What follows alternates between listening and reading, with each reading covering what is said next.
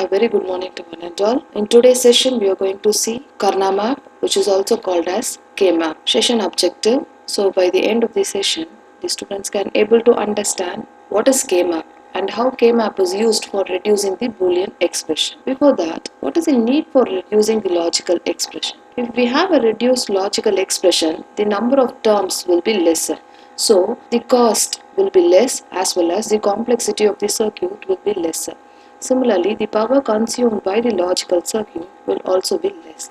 Hence, it is necessary to have a reduced logical expression before its implementation. If we have a lesser number of input variable, uh, Boolean algebra, rules and properties can be used for having a reduced logical expression. But as we go for higher order number of variable, K-map, which is a graphical method of reducing the logical expression, can be used.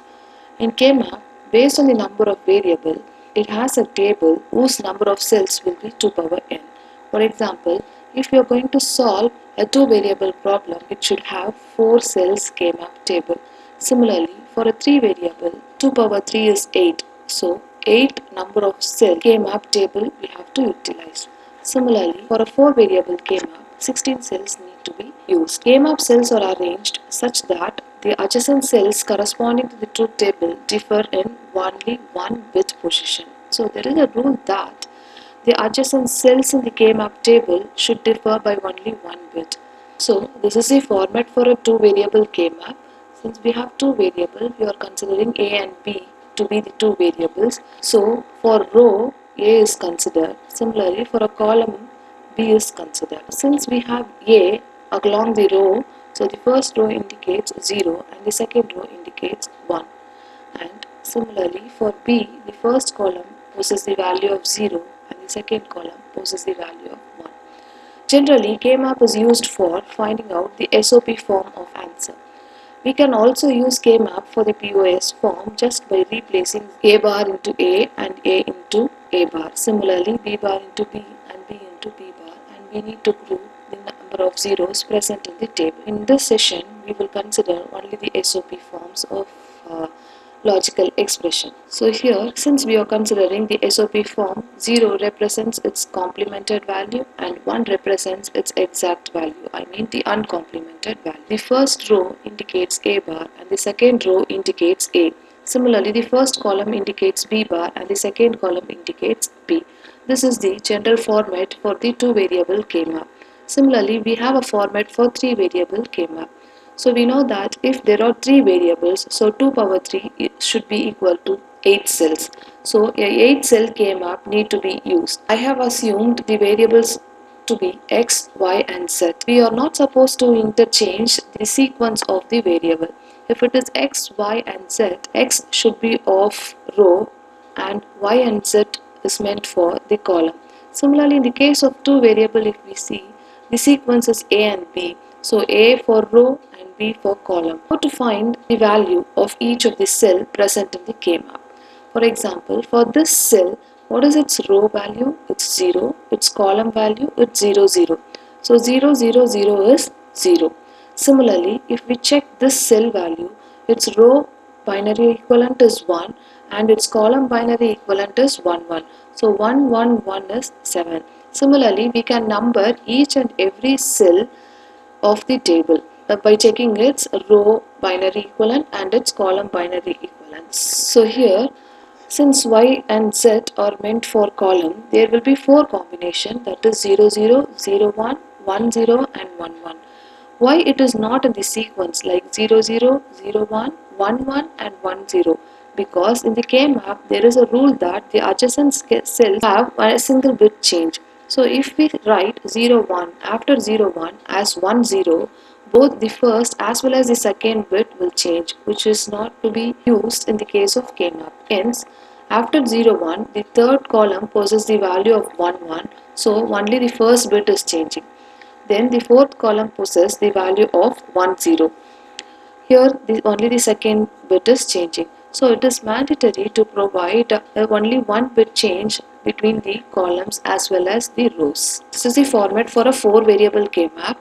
Here A, B, C and D are said to be the four input variable.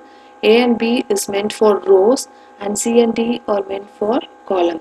So as the rows are meant for A and B, there are four different combinations 0, 0, 0, 1, 1, 1 and 1, 0. So the reason uh, why it is 1, 1 and then 1, 0, it's already discussed. Similarly, in the column we have C and D. So there are again a four uh, combination 0, 0, 0, 1, 1, 1 and 1, 0. Now how to find the cell value? So check what is its corresponding row binary equivalent and column binary equivalent. So for this cell, the row is 0, 0 and column is also 0, 0. So 0, 0, 0, 0 is 0. Similarly, you check for this cell value, what is its row equivalent? It's 0, 1.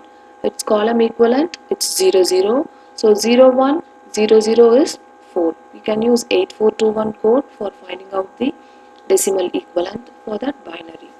Similarly, you can check for each and every cell its equivalent row binary equivalent and uh, column binary value so that uh, the numbering for cells in the K-map can be done.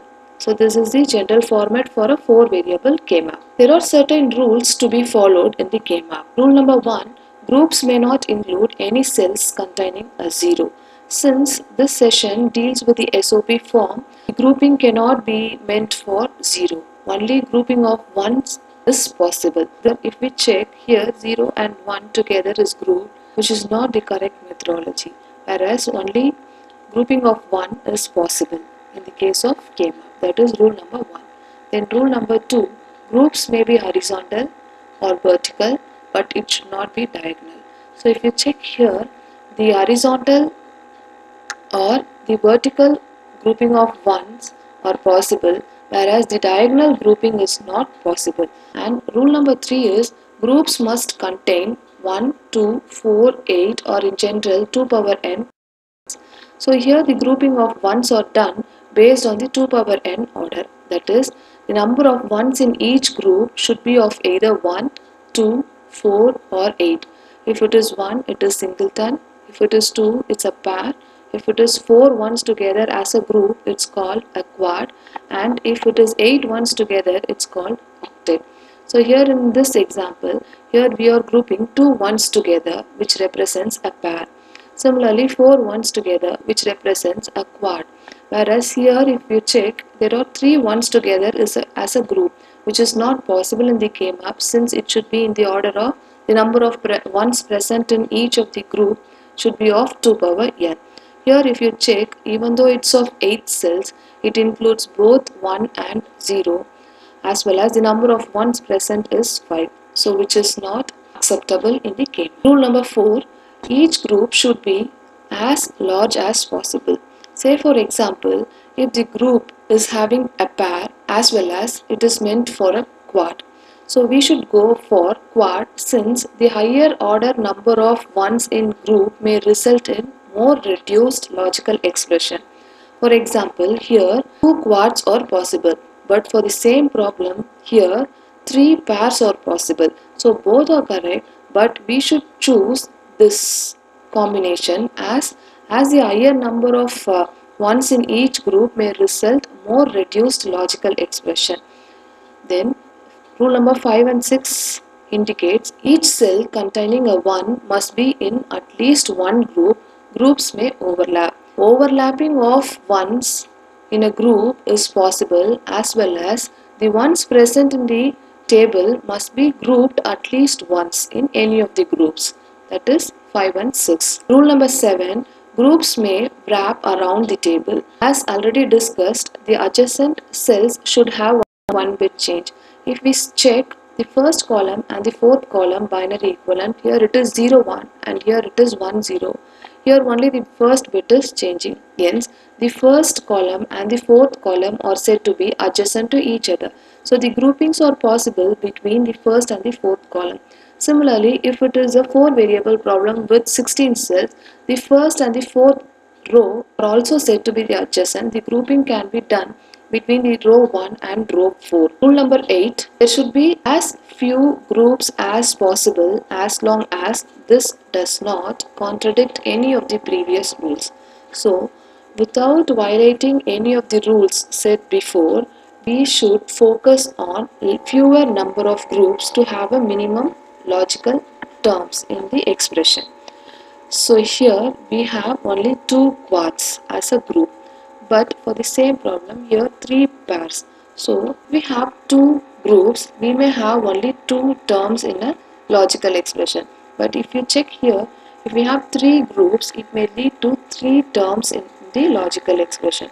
So this is the possible uh, way of grouping your ones in the K-map table.